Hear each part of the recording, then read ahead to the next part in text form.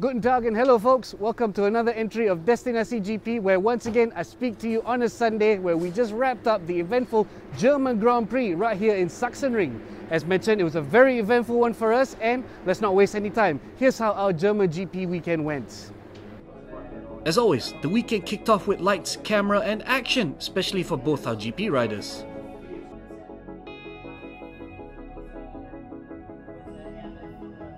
On top of that, the day also saw Moto3 riders John McPhee and Darryn Binder walking and inspecting the circuit with their respective crew chiefs. As did Moto2 rider Jake Dixon. This is a crucial bit of pre-race preparation given that the riders last raced here in 2019. Besides that, Jake and teammate Xavi Vierge also took part in a special photo shoot session organized by German Moto2 constructors Kalex. Temperatures ran high in Germany, but so did spirits within Petronas Sprinta Racing's Moto3 camp.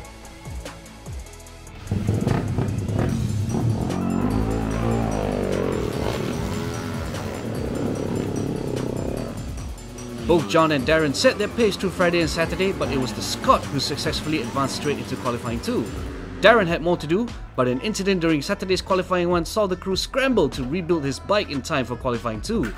Despite the crew's miraculous effort, penalties by the stewards hampered Darryn's efforts, forcing him to settle with a qualifying result of 18th. Instead, it was John who kept his cool and qualified 4th, thus securing his second row starting position. As Sunday's race unfolded, it was yet another Moto3 classic for the ages, but luck did not favour John and Darryn once again. Despite fighting in the lead group for most parts, John was forced down the order after having to avoid a collision, eventually crossing the line in 11th. Darryn also showed gallant pace, but his ride through penalty ultimately caused him to drop further back and finish 14th. Alright, a quick break from all that action because it's time for another round of Meet the Team. And this week in Germany, I got to know members of our Moto2 squad fresh from their recent podium celebrations at the Catalan Grand Prix. Here's who they are. Hello, my name is Fausto. I am Xavi Vierge's crew chief. I am four years working for Petronas team and it's very exciting to be involved in the World Championship with this big team and there is a big passion inside of the team and it's a big motivation for us. Hello, my name is Carlos. I'm the data engineer for Xavi Vierge and this is my second year in the team and I'm very happy and proud to be part of this big family in the World Championship and represent a brand like uh, Petronas. Like its sister Moto3 squad, Petronas Sprinta Racing's Moto2 outfit were poised to perform well in Germany too.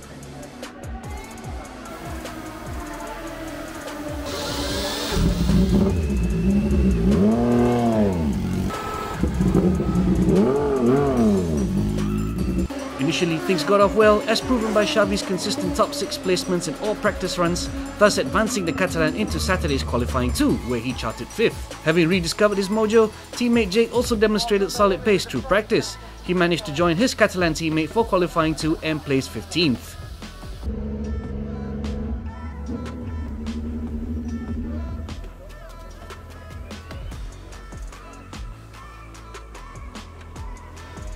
As Sunday's race got underway, the squad held its breath hoping to repeat the same success it charted in Catalonia prior. Alas, luck also didn't favour Xavi in Germany. Despite his solid pace, the Catalan just missed out on another strong points haul when he crashed out from 5th place on the last lap. Jake also saw his efforts hampered by an incident with another rider, thus forcing the Brit to finish out of the points yet again. Okay folks, we're taking a quick break from all that action because it's time for a new kit alert. That's right, we got our hands on some really cool new gear right here in Germany. Let's check it out. Meet the PSRT Velocifero Mad Air Concept Electric Kick Scooter. As you can see, the concept is based off Velocifero's existing Mad Air electric kick scooter model. Fashioned in a replica PSRT livery, this concept features the same bells and whistles that the Mad Air is renowned for. These include a punchy 350 watt electric motor with a removable 36 volt rechargeable battery pack, novel digital dash, as well as a front motor with electric brakes and rear disc brake. Through the rollout of the prototype scooters at races, the team will be evaluating a limited edition production run for the future. Keen to have one? Register your interest via the email on screen now. In MotoGP, Petronas Yamaha SRT also seek to turn their fortunes around in Germany. As always, both Franco Morbidelli and Valentino Rossi fired up their spirits and the Yamaha M1s under the scorching summer heat and got going.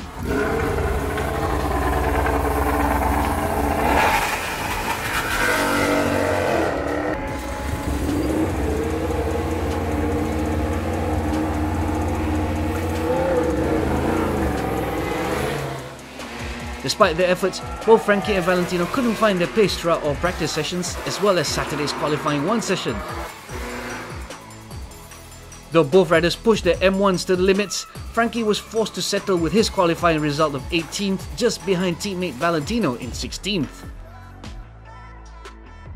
As the lights went out to start Sunday's 30 lap race, Frankie and Valentino again tried their best, pushing lap after lap in the hopes of placing further up the order. Alas, as the checkered flag waved, just Valentino would end up scoring precious points by finishing 14th, whereas Frankie had to settle with no points after finishing 18th.